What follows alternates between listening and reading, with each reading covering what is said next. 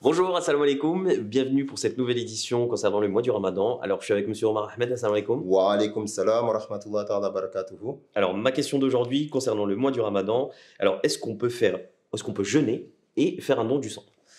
Le don sanguin, c'est quelque chose de très important et euh, ça, ça permet de sauver des vies humaines. Et l'islam est cette religion qui euh, met un accent particulier sur la sacralité de la vie. Ça veut dire que la vie, elle est sacrée. Elle passe même à la- avant l'acte d'adoration. Maintenant, euh, si vous avez la possibilité de faire un don sanguin en dehors des heures de, du, De jeûne. du- de jeûne, faites-le.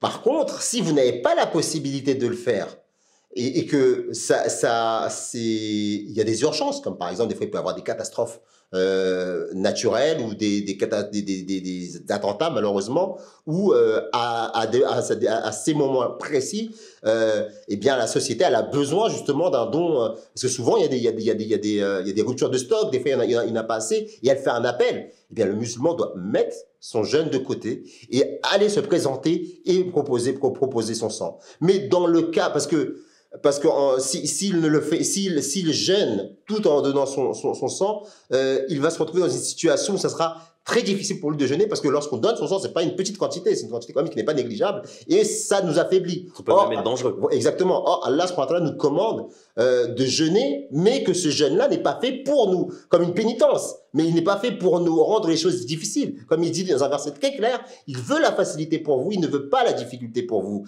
Et donc, dans la mesure où vous allez donner votre sang, alors que ça va vous euh, mettre dans une situation difficile, dans ces conditions, surtout si il y va de la vie ce- de- d'autrui, eh bien, mettez votre jeûne de côté, donnez votre sang et rattrapez le jeûne euh, en dehors du mois du, ramadan. Et dans le cas euh, où effectivement il n'y a pas d'impératif, ben, vous pouvez toujours laisser passer le mois du ramadan et faire un don sanguin en toute liberté.